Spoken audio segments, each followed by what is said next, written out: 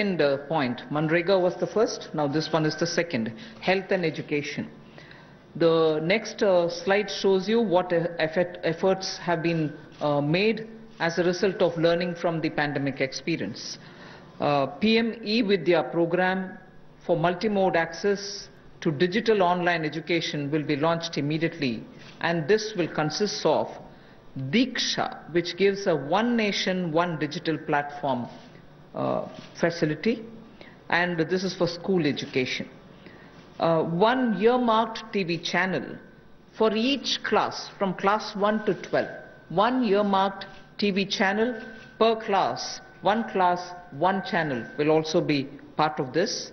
Then there will be extensive use of radio, community radio, and podcasts. So technology in a big way into education.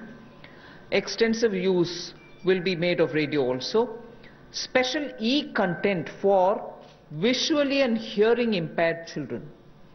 This is going to be one of the very big step forward and I personally feel very touched by the HRD's attempt to ensure that Divyang children also get equal access to good quality education. So special e-content for visually and hearing impaired children and the top 100 universities will be permitted and will be automatically allowed to start online courses, will be automatically allowed to start online courses by 30th May 2020. I remember speaking about this particular aspect during the budget also.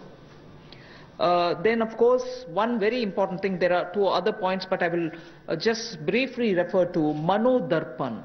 I think this is a great initiative considering that during this lockdown period also, many students required support, psychological support, because lockdown was new to them. There was this fear, don't go anywhere, don't touch anybody, don't speak to anybody, don't uh, take anything from anybody else. Children were definitely stressed because of this and an initiative for psychological support of students, teachers and families, uh, the larger thing being for mental health and emotional well-being uh, is being launched immediately. There are other two things, but I, for want of time, I would rather briefly touch this and get to the next.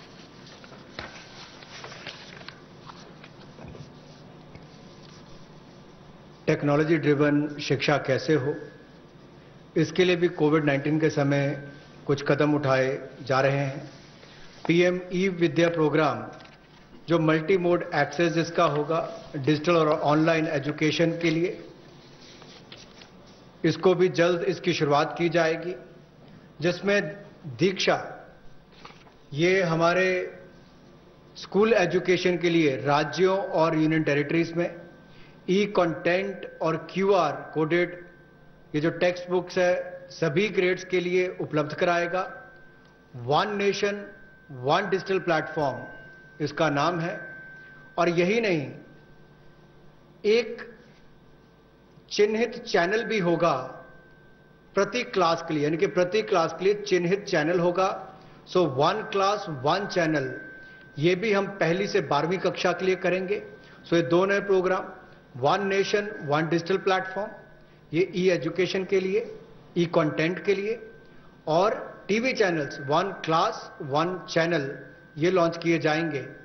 Radio का community radio का और podcast का भी सदुपयोग किया जाएगा।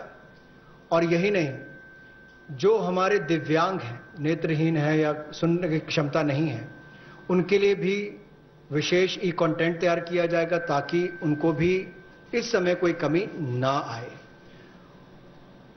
जो सौ विश्वविद्यालय टॉप हंड्रेड यूनिवर्सिटीज हैं, उनको भी अनुमति दी गई है ताकि वो ऑनलाइन ऑटोमेटिकली अपने कोर्सेज की शुरुआत कर सकें।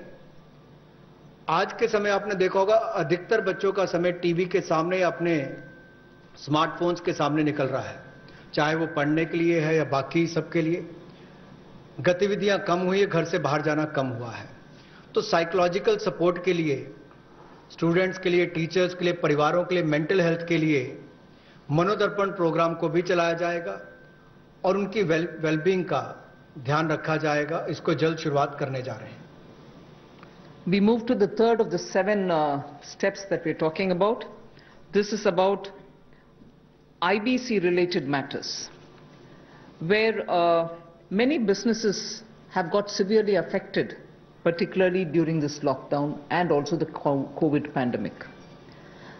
Debts related to COVID shall be excluded from default under the IBC. This is a change which we are going to make, that any debt which is incurred or uh, indebted situation that comes up for uh, companies because of uh, coronavirus, they shall not be included in the category of default.